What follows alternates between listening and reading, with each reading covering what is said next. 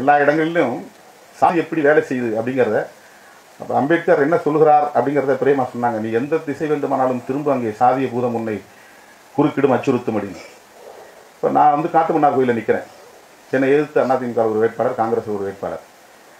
காங்கிரஸ் வேட்பாளர் வந்து சாதி இந்து திருக்கல்ல வரவேற்று தாரை தப்பத்தை அடித்து அவருக்கு வரவேற்பு கொடுக்குறாங்க.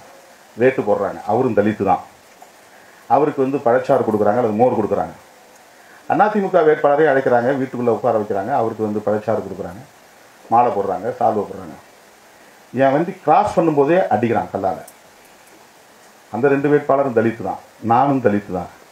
திருமாவளவன் கார் மீது கல் வீசுவது ஏன்? மற்ற ரெண்டு வேட்பாளர்கள் மீது ஏன் கல் வீசவில்லை? இது மிக முக்கியமான ஒரு கேள்வி. தலித்துகள் அல்லது ஒடுக்கப்பட்டவர்கள் காலங்காலமாக நசுக்கப்பட்டவர்கள் ஒரு அரசியல் சக்தியாக எழுச்சி பெறுவதை இந்த சமூகம் ஏற்கவில்லை. இப்போ எப்படி கூட்டணி ஆட்சிக்குள்ளே போய் இவன் ஆட்சிக்கு வந்தால் திருமாவளவனுடைய கட்சிக்கார அமைச்சர்களாக உட்கார்றதை வந்து ஏற்றுக்கொள்வார்கள்? எப்படி தலித் முதல்வர் என்கிற விவாதத்தை வந்து அவர்களால் ஏற்றுக்கொள்ள முடியும்? அவ்வளவு இறுக்கமான சாதி இறுக்கம் நிறைந்த ஒரு சமூக கட்டமைப்பாக இந்த சமூக கட்டமைப்பு இருக்கிறது. இதில் முக்கிய முக்கியமாக நான் சொல்ல விரும்புகிற செய்தி என்னவென்றால் எல்லா யுத்தங்களும் அதிகாரத்தை அடிப்படையாக வைத்துதான். கணவன் மனைவி சண்டை கூட ஏன் பெண்டாட்டிய புருஷன் ஓங்கி அடிக்கிறான்? ஒரு வார்த்தை மேலே பேசினா கூட நீ அதிகாரத்தை கையில் எடுக்கிறியாங்கிறது தான் சண்டை.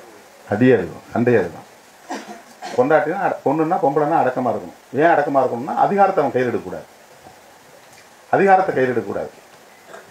இப்போ அதிகாரம் என்பதுதான் முக்கியமானதாக இருக்கிறது. கணவன் மனைவி சண்டையிலிருந்து உலகப் போர் வரையில் உலக யுத்தம் வரையில் அனைத்து யுத்தங்களும் அனைத்து மோதல்களும் அனைத்து உரசல்களும் அனைத்து சிக்கல்களும் அதிகாரத்தோடு தொடர்புடையவை. அதிகாரத்தோடு தொடர்புடையவை.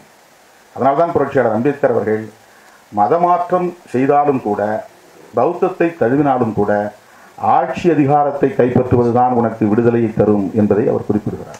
அரசியல் அதிகாரம் அனைத்து கூட்டுகளுக்கும் ஒரே சாவி அரசியல் அதிகாரம். என்று